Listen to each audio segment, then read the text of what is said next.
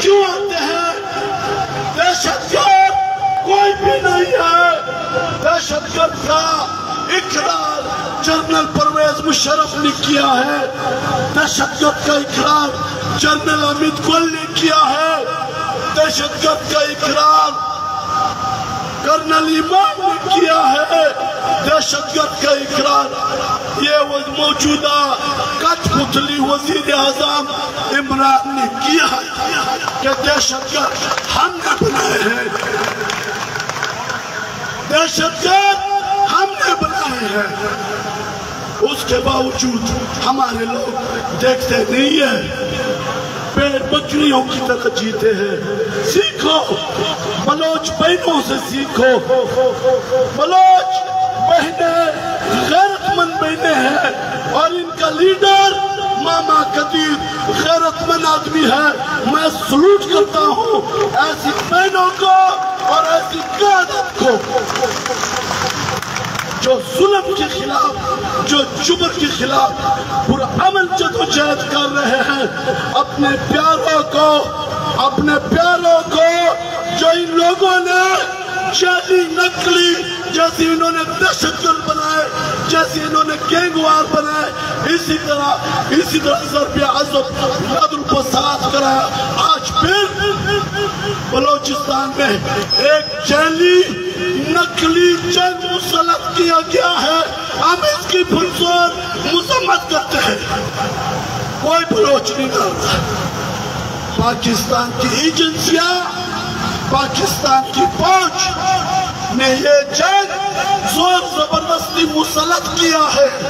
ہم تمام اقوام کو اپیل کرتے ہیں کہ جو بہنیں یہاں پہ بیٹھی ہوئی ہے رو رہی ہے ان کے پیارے لاپتہ ہے معصوم بچے احتجاج کے سب میں بیٹھے ہوئے ہیں۔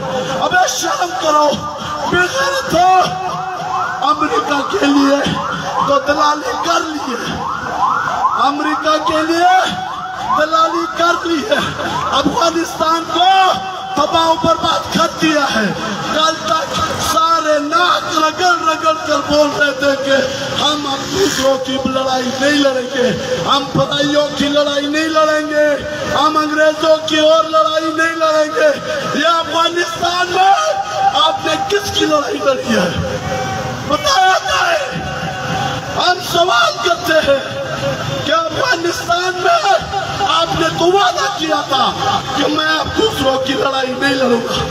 افغانستان میں لڑائی کس کی لڑائی تھی؟ آج بھی وزیر اعظم اور اس کا نقلی چلی پیر اور چلی سید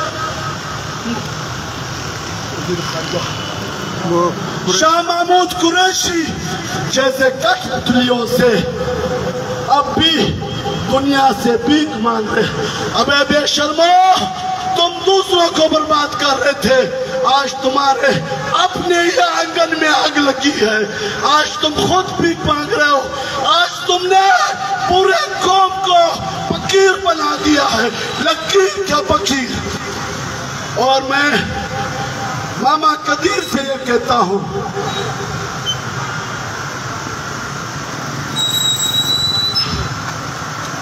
جہاں پہ آپ آئے ہو، ان سے بھی کوئی امید نہیں رکھنا۔ یہ جو اپنے آپ کو میڈیا کہتی ہے، یہ جو اپنے آپ کو اینگر کہتے ہیں، یہ ان سے بھی کوئی امید نہیں ہے۔ کیونکہ یہ بھی غلام بن گئے ہیں۔ اس ادارے کو بھی انہوں نے غلام بنا دیا ہے۔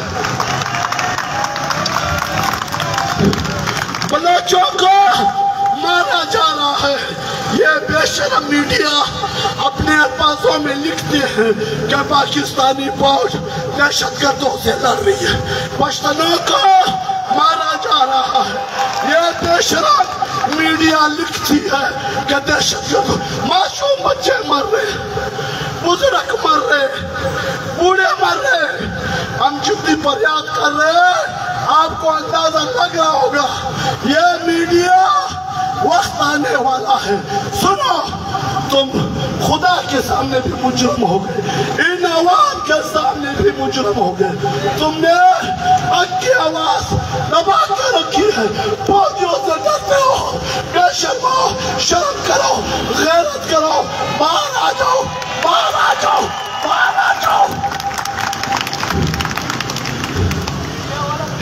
ان بہنوں کو دیکھو۔ ان پر تس کرو ان معصوم بچوں کو دیکھ کر ان پر تاثر کرو۔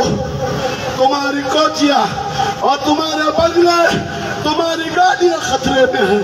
اس لیے تم نہیں بارا سکتے ہو۔ اب تم پہ شیب شیب شیب۔ آپ کی غیرت کو سلام پیش کرتے ہیں، لڑتے رہیں گے۔ جب تک ہماری سامے سا ہے۔ باقی جو ہمارے اقربا پروری ہے، جو اس سے سیاست کے نام پہ بے شرموں کی طرح خاموش بیٹھے ہوئے ہیں۔ ہم ان بلاچ ان پشتون ان سندھی، ان سرکوں کو کہتے ہیں کہ شرم کرو حیاء کرو، آ جاؤ، اپنے عوام کے سب میں کھڑے ہو۔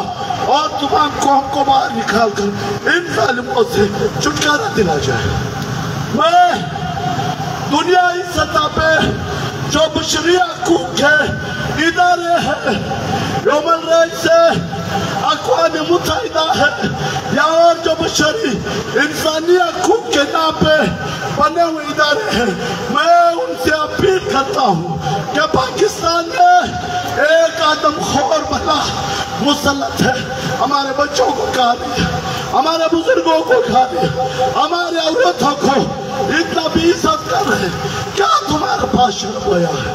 آئے، اقوام متحدہ کی نگرانی میں ایک کمیشن بنے، وہ کمیشن تھا کر یہاں پہ پشتون بناچ سندھی سراکی اقوام سے پوچھا جائے اور ایک معنی خیز ایسا ہی فیصلہ کیا جائے۔ ان ظالموں کو آئین کی تحت قانون کی تحت اپنے ادارے کی جتنے اختیارات ہیں، اس کے پیمان بنا جائے بہت مہربانی، اللہ عزت کرے، اللہ خوش رکھے۔ ہم آپ کے ساتھ ہیں، ہم آپ کے ساتھ ہیں، ہم آپ کے ساتھ ہیں۔